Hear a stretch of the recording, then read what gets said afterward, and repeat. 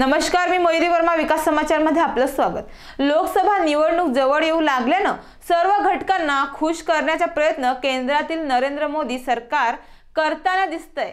विविध विकास कामांच्या भूमिपूजनाचे लोकार्पणाचे उद्घाटनाचे कार्यक्रम ठिकठिकाणी आयोजित केले जात आहेत वेगवेगळ्या योजनांचीही अंमलबजावणी झटपट सुरू करण्यात येते.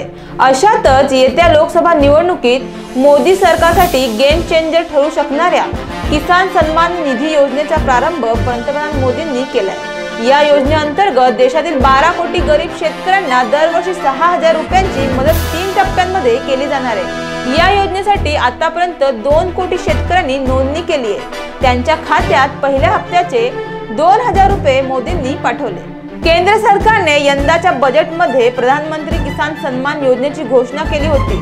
तर दोन हेक्टरपेक्षा कमी जागा असलेल्या शेतकऱ्यांना सरकारकडून दरवर्षी सहा हजार रुपये दिले जाणार आहे या योजनेसाठी पंच्याहत्तर हजार कोटी रुपयांची तरतूद करण्यात आली आहे. या योजनेवर विरोधकांनी टीकेची झोळ उठवली असली तरी या योजनेद्वारे जय किसानचा नारा देत मोदींनी मतपेरणी केल्याचं जाणकारांचं म्हणणं आहे. आता शेतकऱ्यांच्या खात्यात दोन हजार रुपये जमा करून मोदी सरकारनं एक पाऊल पुढे टाकलंय.